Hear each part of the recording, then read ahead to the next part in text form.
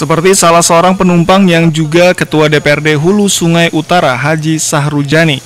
Menurutnya menggunakan jasa penerbangan melalui Bandar Udara Warukin dari Bandar Udara Halim Perdana Kusuma dapat dikatakan efektif. Pasalnya, perjalanan yang biasanya ditempuh dengan waktu lama kini perjalanan dapat ditempuh dalam waktu yang singkat.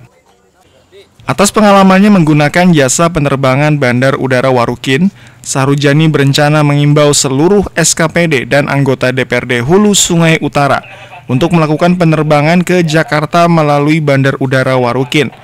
Pasalnya keberadaan Bandar Udara Warukin ini menurutnya sangat membantu dan dapat mempercepat proses pembangunan daerah. Jadi penerbangan ini saya sangat menyambut baik, e, masyarakat mudah-mudahan nantinya akan berkembang masyarakat Tabalong, Balangan, Hulu Sungai Tengah, Hulu Sungai Utara dan kemungkinan juga Barito Timur uh, dalam melakukan perjalanan bisa cepat sampai ke Jakarta. Sementara Direktur Mitra Tours Travel Wikanto Heru Putranto menjelaskan, saat ini harga tiket untuk satu kali penerbangan dipatok dengan harga Rp1.670.000.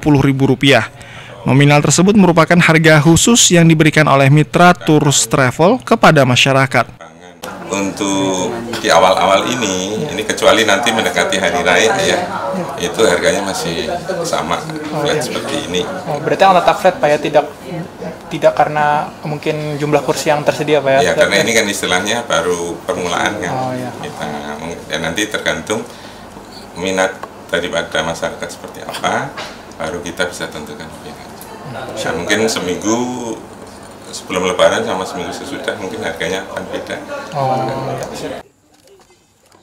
Dengan beroperasinya Bandar Udara Warukin diharapkan dapat membantu masyarakat kabupaten tetangga seperti Balangan, Hulu Sungai Tengah, Hulu Sungai Utara, dan Kabupaten Barito Timur, Kalimantan Tengah dalam melakukan perjalanan.